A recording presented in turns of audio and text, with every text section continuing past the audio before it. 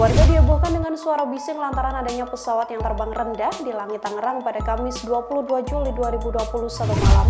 Dalam rekaman amatir warga, pesawat tersebut bahkan terbang rendah dan berputar berkali-kali di wilayah Kelapa II Kabupaten Tangerang. Terkait hal ini, pihak Airnav memberikan penjelasannya. Heboh adanya pesawat yang terbang rendah itu pertama kali dibagikan oleh akun Instagram at abouttng pada Jumat 23 Juli 2021 pagi.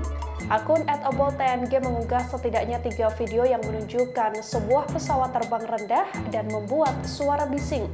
Salah satu video yang diunggah menerangkan pesawat itu mengudara di atas langit wilayah Kelapa II, Kabupaten Tangerang, yang diketahui berlokasi di dekat Bandara Soekarno-Hatta, Kota Tangerang. Tak hanya satu kali mengunggah video mengatakan bahwa pesawat yang terbang rendah berputar setidaknya lebih dari tiga kali. Terkait hal ini, Humas Airnav Bandara Soekarno-Hatta Yohanes Sirait membenarkan operasional pesawat tersebut pada Kamis malam. Yohanes mengatakan bahwa pesawat yang melintas adalah pesawat milik Balai Besar Kalibrasi Fasilitas Penerbangan. Balai Besar Kalibrasi Fasilitas Penerbangan itu diketahui sedang mengecek dua alat bantu pendaratan di Bandara Soekarno-Hatta Dua alat bantu pendaratan tersebut adalah instrumen landing system atau ILS dan juga Precision Approach Path Indicator atau PAPI.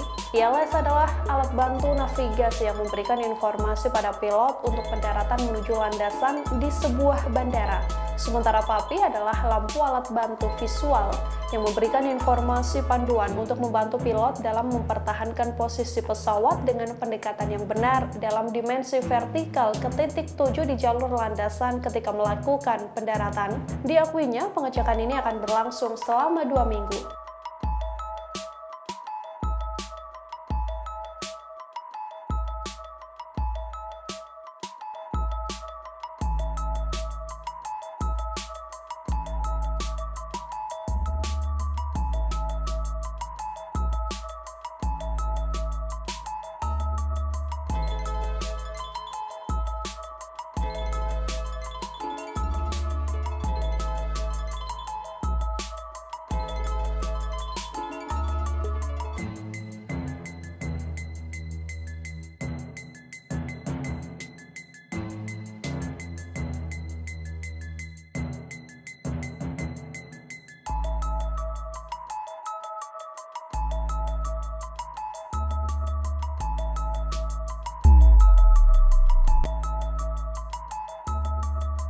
Terima kasih sudah nonton.